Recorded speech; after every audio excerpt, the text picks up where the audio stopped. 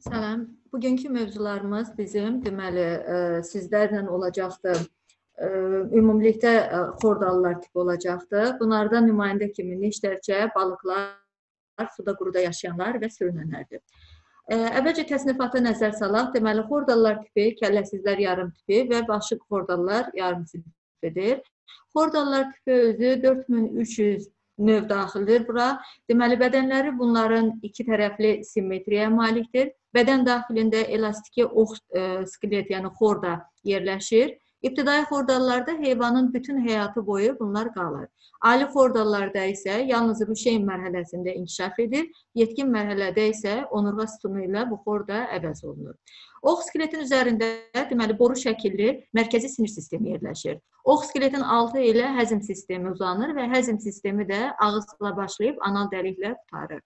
Su xordallarında qəlsəmələr bütün ömrü boyu qalır. Quruda yaşayan xordallarda isə qəlsəmə ancaq Ruşeym dövründə inkişaf edir. Xordallarda qan-damar sistemi qapalıdır. Bundan əlavə bu tipin əsas əlamətlərindən biri də xordalların dənizlərdə, şirin sularda quruda yaşaması və dedik ki, onlar üç yarım tipə bölünür. Sürfəsi xordallar, kəlləsizlər və kəlləlilər. Birinci nümayəndə kimi biz neştərçənin həyat tərzi ilə tanış olaq. Əvvəlcə onu qeyd edim ki, 1778-ci ildə Simon Pallas ilk dəfə olaraq Qara dənizdə yaşayan neştərçənin quruluşunu e, deməli tədqiq edərkən onu mollyuskalara aid edir. Lakin sonradan Kavalevski tərəfindən neştərçənin xordalı heyvanlara aid olduğu deməli müəyyən olundu. Neştərçənin özünün bədəni 5-8 sm uzunluğundadır. Yarım şəffaf bədəni var. Kiçik deməli balığa bənzər dəniz heyvanıdır. Bədənin çox hissəsi qumun içərisində, baş və bədənin ön hissəsi isə qumdan kənarda qalır. Bədəni buğumludur. Neştərçə öz quruluşuna görə onurğalı və onurğasızlar arasında keçid yer tutur. Deməli, beləliklə neştərçənin xurdalı heyvanlara aid olmasını dəfə Kavalevski müəyyən etdi. Xarici quruluşuna gəldikdə başı və e, kəlləsi bunlarda yoxdur.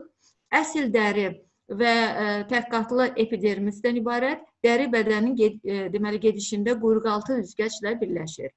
İki ədəd bunlarda len şəkilli əzələləri vardır. Bir də buğumlu bədənin yanları ilə uzanırlar. Daxili quruluşuna gəldikdə isə, deməli bu şəkildə də görürsüz, Xorda və gəlsəmələr bütün ömrü boyu qalır. Məs deməli e, bu tipin adının adlandırılmasının da əsas xüsusiyyəti onların bütün bədən boyu, ömrü boyu qalan bu xordasının hesabınadır. Sonra daxili quruluşundan deməli həzm sistemini görürsüz ekranda. Ağız geniş udulaq, bağırsaq, qaraciyər çıxıntısı və anusdan ibarətdir.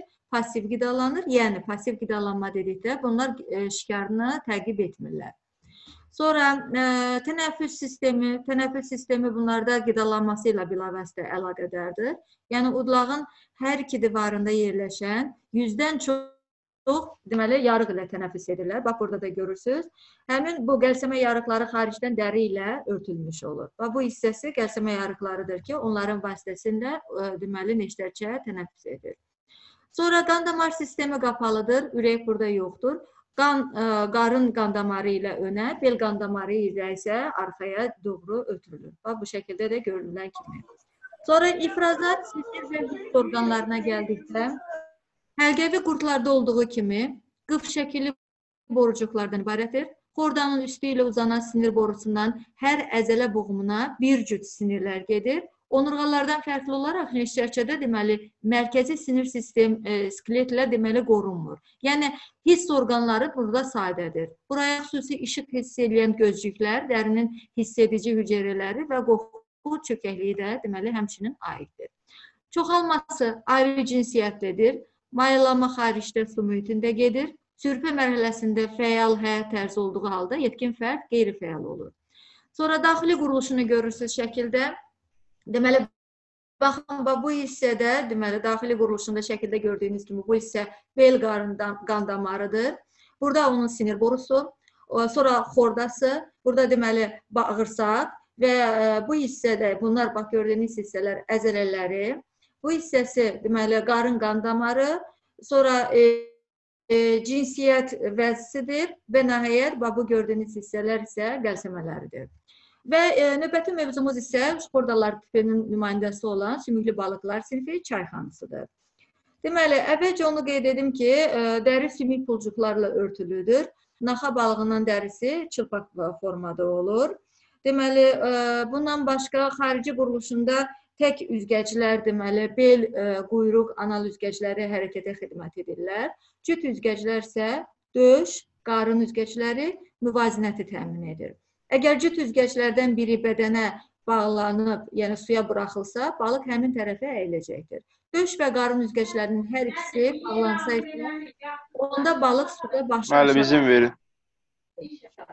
Sonra bundan əlavə deməli burada da dayaq hərəkət sistemi skeletini görürsüz. Çay xanısının skeleti kəllə, onurğa və üzgəclər skeletindən təşkil olunubdur. Kəllə kəllə qutusu, yəni bura aiddirənsə, eşitmə, görmə, qoxu və üz skeletindən, deməli üz skeletinin sümüklərindən ibarətdir. Onurğa, gövdə və quyruq fəqərələrindən əmələ gəlir. Fəqərələrin hamısı cisim və ondan uzanan olan üst qövslərə və yan çıxıntılara malik olurlar. Yalnız gövdə fəqərlərinin yan çıxıntılarından bir cüt deməli qabırğa birləşir. Ətrafların skeleti tək və cüt üzgəclərin skeletindən ibarətdir. Burada cüt üzgəclərin üzgəc ə, deməli qurşağı vardır.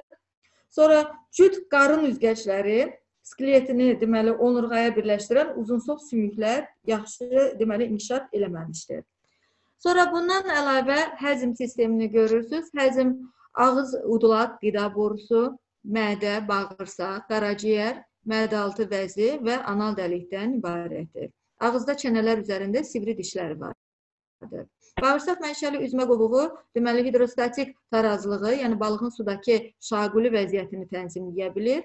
Yetkin xanıda üzmə qobuğu bağırsaqla olan əlaqəsini itirir. Lakin bəzi balıqlarda, məsələn, bunlara külmə balığı, çapaq balığı, çəki balığını göstərə bilərik ki, bütün ömrü boyu borucuq vasitəsilə bağırsaqla birləşmiş olur.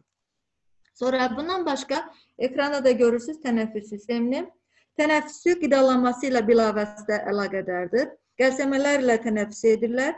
Xanı balığının qəlsəmələri qəlsəmə qövsləri şəklindədir və bu qövslərin bir tərəfində parlaq qırmızı rəngdə olan qəlsəmə yarpaqları, o birisi yəni daxili tərəfində isə deməli ağımtıl qəlsəmə dişicikləri olur. Deməli qazlar mübadiləsi, yəni qanın oksigenlə zənginləşməsi qəlsəmə yarpaqlar, yarpaqcıqlarında gedir. Yəni onların vasitəsilə həyata keçirilir. Yəni qəlsəmə dişicikləri isə deməli süzmə rolunu oynayır və qidanın sürüşüb ağızdan çıxmasına isə eyni zamanda maneçilik törədir. Sonra gəlir e, qan damar sistemi. Deməli, venoz qanla zəngin olan iki kameralı ürək və damarlardan ibarətdir. Qəlsəmələrdə təmizlənən qan bilavasitə ürəyə qayıtmadan, deməli, bədənə qovulur. Sonra bundan başqa ifrazat sistemi gəlir. İfrazat sistemi, deməli, len şəkilli bir cüt qırmızımtıl qonur böyrəklərdən sidik kisəsindən və iki sidik axarından təşkil olunmuşdur. Sinir sistemi və hiss orqanlarını görürsüz ekranda. Beyin şöbələrinin funksiyaları da göstərilibdir burada. Yəni hiss orqanları görmə, eşitmə, dad bilmə, qoxu və yan xətt orqanları bura aiddir. Bunlar cütdür. İlk dəfə olaraq daxili qulaq meydana gəlmişdir. Daxilində müvazinətlərin deməli e, tənzimləməsində rolu olan bu yarım dairəvi kanallar, eşitmə e, daşları, yəni otolitlər adlanırlar ki, bunlarda mövcuddur. Balıqlarda eşitmə orqanları xaricdən deməli görünmür. Onları xarici tərəfdən görmək mümkün deyil. Sonra balıqlarda olan yan xətt orqanı suyun axın istiqamətini, sürətini, deməli sualtı əşyalara qədər olan məsafəni təyin edə bilir. Bundan əlavə gəlir burada çoxalma və inkişafı. Cüt cinsiyyət vəzləri vardır. Kürü tökmək üçün əksəriyyəti dənizdən çaya, bəziləri isə deməli çaydan dənizə keçə bilirlər mayallama su mühitində gedir. Dəniz xanısı və deməli hampuziya kimi balıqlarda mayallama daxildə də gedir və diri bala doğma da bunlar doğma ilə deməli çoxala bilirlər. Sonra burada isə qığırdalı balıqlar sinifini deməli bəzi nümayəndələrini görürsüz. Əsasən duzlu sularda yaşayırlar. Şirin sularda yaşayanlara deməli daxili təzyiqi normal saxlamaqdan ötürü çoxlu sidik ifraz olunur. Sonra skelet qığırdaqdandır. İlk dəfə kəllə qutusu bunlar əmələ gəlmişdir. Üzmə qovuğu və qəlsəmə deməli qapaqları burada yoxdur. Sonra 5-7 cüt qəlsəmə yarpağı vardır. Sonra əksəriyyəti diri bala doğma ilə nəsil verirlər. Bəzilərində isə bədən səthi pulcuqlarla, yəni ə, e, örtülü olur. Və e, növbəti mövzumuz isə xordallar tipinin suda quruda yaşayanlar sinifidir. Ümumiyyətcə onu qeyd edim ki, e, quruya çıxan ilk onurğalılardır, lakin çoxalması və inkişafı bunlarda suda gedir.